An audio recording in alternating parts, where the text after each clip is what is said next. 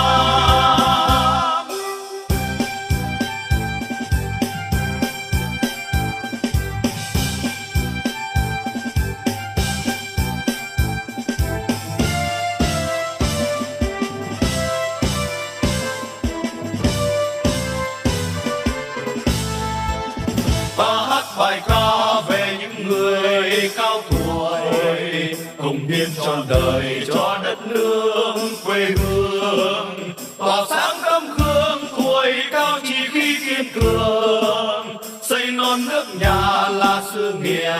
vinh quang ta hát bài ca người cao tuổi việt nam truyền thống anh hùng gìn giữ